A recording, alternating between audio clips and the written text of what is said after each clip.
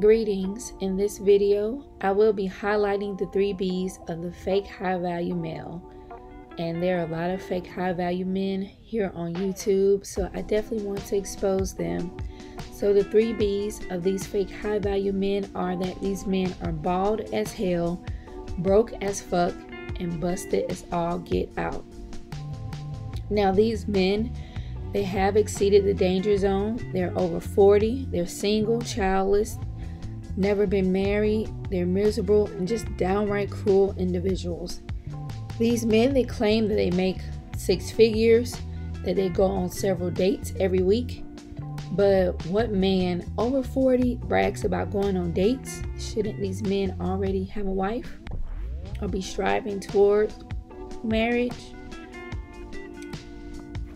These men, they are habitual bachelors and they will end up in a nursing home all alone with no visitors or anyone who actually gives a damn about them.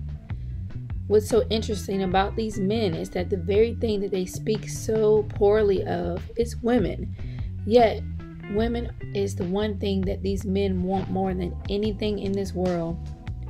These men literally think about us women 24 7. We're constantly on their minds all day, every day with these men.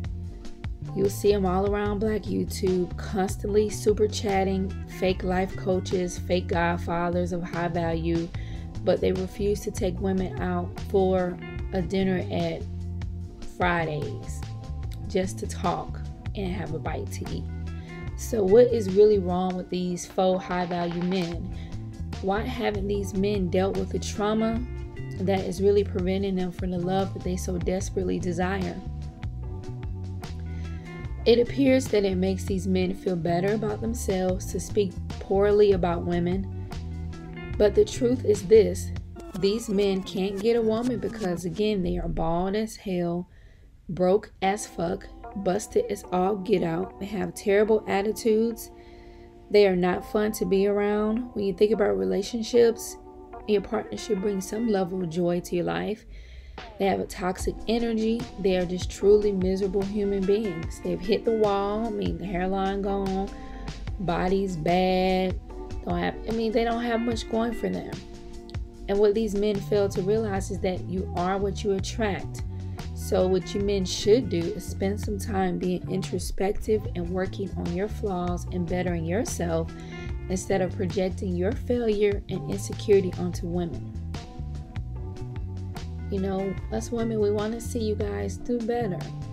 You know, and you guys just seem to look at, look at everything except looking within.